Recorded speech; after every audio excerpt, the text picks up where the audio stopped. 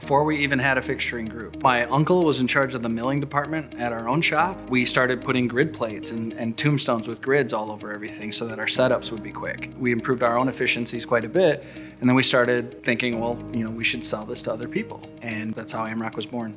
We were really a machine builder, first and foremost. We design and build complex manufacturing equipment. Everything we do is about throughput. It's about more efficient processes. It's about more quality parts per day. When you think about, okay, how to improve beyond that, you have high density work holding and you're getting a lot done. The next step is, okay, how do I reduce the amount of time to change over from one fixture to the next? And that's where automation comes in. It's a natural fit for automation to be the next step when you've already improved the work holding setup. We needed to add to our team people who had the robotic experience, who had the controls knowledge. And my cousin Kaleb was working for a custom automation integrator. We needed someone who came from the robotics and automation side to lead this new direction, and he was the perfect fit. So being a third generation family member, the machining aspect has always been in my blood. So I worked at AME for a while, and then I ended up going to a custom automation integrator, and I got really into it. I did a lot of controls, robotics, vision, a lot of programming, and helping concept and design entire automation systems from the ground up. So after a few years, my cousin Nick approached me about coming back to the family business because he wanted to start this new automation division. And after a few months of deliberation, I decided to join.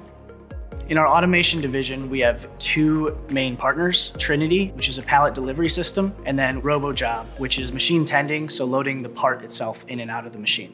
The reason this partnership made a lot of sense is because we're a fixture builder and we're already solving a lot of the same problems that they're trying to solve just in a little bit of a different way. So that collaboration between the fixturing and the automation of getting that part or pallet into the system goes hand in hand. We're a manufacturer at heart. So we're an integrator of these systems, not just a distributor. So we're doing a lot of the legwork and we have a great team already set up for that. So when we work with our customers, we try to understand the work piece first. And that's the basis for everything, whether it's the fixturing end of things or the automation. Taking that approach might bring us to different conclusions. Since we're brand agnostic in our partners we work with and what we manufacture, we're able to actually get the best solution for the customer.